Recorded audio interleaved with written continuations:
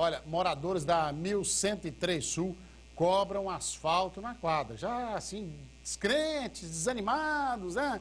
Todo ano vai, vai, vai. Mas eu conversei com o prefeito Carlos Amassa durante a entrevista que ele me deu lá no programa Opinião e Debate. Disse que já está tudo pronto, já está o projeto tudo separado, prontinho. Diz que vai sim asfaltar, tá? Já estou antecipando para vocês. Foi isso que o prefeito falou, fez o compromisso. A gente teve uma cobrança de um morador, acho que chama João, da 1103. Ele mandou mais de 60 mensagens. Ele começou a disparar mensagem no WhatsApp. Marcão pergunta para o prefeito, pergunta para o prefeito. Falei, prefeito, essa pergunta aqui a gente tem que responder. O João da 1103 Sul cobrou o asfalto e o prefeito Carlos da Massa disse que já está tudo pronto para asfaltar. Mas vamos conferir. Uma espera que parece não ter fim. Na quadra 1103 Sul, os moradores dizem que por lá há duas estações do ano que são bem definidas: a de lama e a de poeira. Há anos, os moradores brigam pela pavimentação e ouvem promessas quanto à chegada do asfalto, mas entra ano e sai ano e o asfalto não chega. Em 2008, fizeram o, o PPA aqui, da, da fazer de infraestrutura do, daqui da quadra, inclusive teve da quadra de esporte do colégio, e foi aprovado também o asfalto da nossa quadra aqui, em 2008. Aí passou os dois mandatos do, do ex-prefeito e nunca que aconteceu nada. Cobrança sempre fizemos, reunião aqui várias vezes na, na frente dos colégios aqui, convidei o pessoal, fizemos manifestação, devido ao matagal aqui, devido nós ter duas escolas e um posto de saúde nessa quadra aqui, e até hoje nunca saiu nada, só promessa, promessa que tem licitação. A quadra possui posto de saúde e escola. Essa professora que trabalha na escola da quadra diz que com tanta poeira, nesta época, fica até difícil dar aula. Sou moradora dessa quadra há 14 anos. Essa quadra foi licitada em 98. Estamos todos aqui.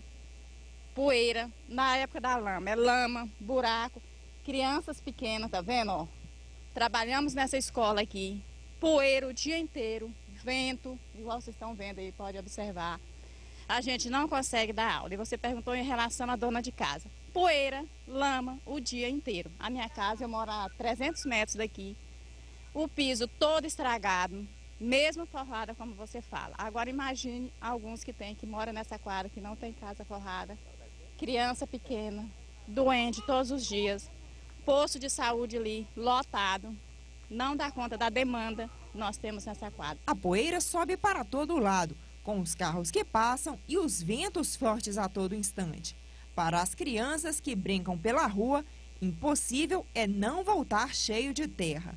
E mesmo dentro de casa, é para elas que o perigo é ainda maior. E é aí que o problema da falta de pavimentação asfáltica também vira um problema de saúde pública muito difícil de cuidar das crianças, porque o posto de saúde é lotado.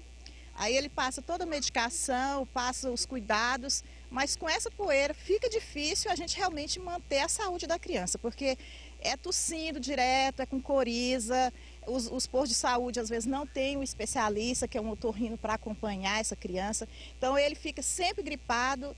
Eu já estou com uma criança de 5 anos, estou grávida, já estou preocupando com essa que vai nascer, porque a poeira para um recém-nascido, a gente sabe que é, complica mais ainda a situação para uma criança que está é, vindo ao mundo já no meio de tanta poeira e a gente cuida com a casa forrada, fazendo toda a higiene, mesmo assim as crianças estão adoecendo. Indignação e abandono pelo poder público fazem parte do sentimento da população desta quadra na irresponsabilidade das autoridades, que a gente vê tanta campanha com relação à saúde, mas quando a gente vê aqui a situação dessa quadra, a poeira dentro de casa, porque pode ter forro, pode ter portão, a minha casa é cercada de árvores, e mesmo assim, quando chega na sexta-feira, tu tira de caldo, de poeira, de terra, de lama de dentro de casa, isso que ela fica fechada a semana inteira.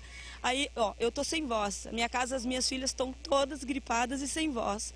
A gente pensa, todo ano, quando tem eleição, os políticos vêm para cá, fazem reunião, chamam a comunidade, que eu acredito que nem vem mais nas reuniões. Já teve associação e nada acontece. Estou há 15 anos morando nessa quadra e realmente nem um caminhão pipa. Diz a lei que uma escola tem que ter a prioridade o asfalto. Se entrar dentro dessa escola aí, eu vi construir as condições dentro dessa escola, casa nova aqui, em um ano, dois anos a casa acaba, não tem acabamento, não tem mais nada. Isso assim, sem falar na saúde dos moradores, que é o mais importante. Então tá aí, é um compromisso, o prefeito Carlos Amassa, repetindo, no começo da matéria eu disse, ele deu uma entrevista para mim lá no rádio, onde eu estou de segunda a sexta, e amanhã, hein, rapaz, amanhã eu vou começar às 7 horas e 50, tem horário político eleitoral, começa amanhã, lá no rádio eu vou começar, começava às 7, agora vou para 7h50. Bom, mas o prefeito esteve lá na sexta-feira e falou, muitos moradores da 1103, mas eu decorei o nome do João, porque ele mandou mais de 60 mensagens. E ele disse que já está tudo pronto, tem um projeto e vai asfaltar. Então, é um compromisso, vocês podem cobrar e cobrar o balanço geral. Esse projeto está tudo certo para já começar a mexer e asfaltar. Então, vamos aguardar é, esse projeto. Vocês podem procurar a prefeitura, se interem mais a saber. Não deu certo lá, não começou, vocês entram em contato de novo com a gente lá, que eu mesmo vou falar pessoalmente com o prefeito, é porque ele deu em primeira mão essa notícia lá no Opinião e Debate. Falando